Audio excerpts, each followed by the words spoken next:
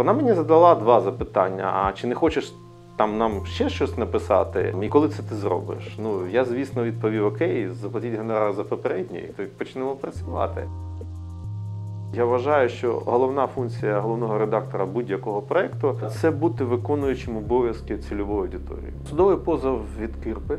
Взагалі е, позови до газети бізнес дуже плохо закінчувались, погано закінчувались для тих, хто намагався це робити. Ми займали досить жорстку позицію, і е, в нас тоді вже був досить серйозний факт-чекінг, і ми були впевнені в тому, що ми робимо. Взагалі до нас дослухались. Дослухались в тому сенсі, що боялись робити якусь дурню. Був надрукований шаленим накладом такий стікер, що цей бізнес знаходиться під захистом президента. Це була крута штука. Це спрацювало. Вони просто працюють, вони заробляють гроші і сплачують податки. А їм ще розповідають, що вони бариги. Я про бізнес кажу. Бізнес в нашій країні зараз називають баригами. З того дня, коли е,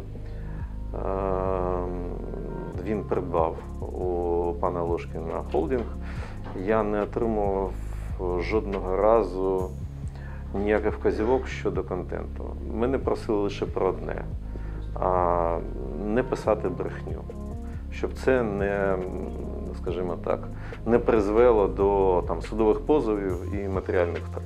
Це зрозуміло, я сподіваюся. Не стріляйте в піаніста, вони грають як уміють. От е, а, скільки може суспільство платити ЗМІ у тому чи іншому вигляді, настільки воно ЗМІ це ну, продукт цих ЗМІ і отримує. І коли мені кажуть, е, наприклад, зробіть там щось, а ми почнемо платити. Дурня, хлопці, дурня. Я не вважаю, що можна бути займати не проукраїнську позицію, е, працюючи в Україні. Ну просто вибачте, хоча б з егоїстичних міркувань, хоча б з них. Мене вчора назвали росіяни націоналістом українським.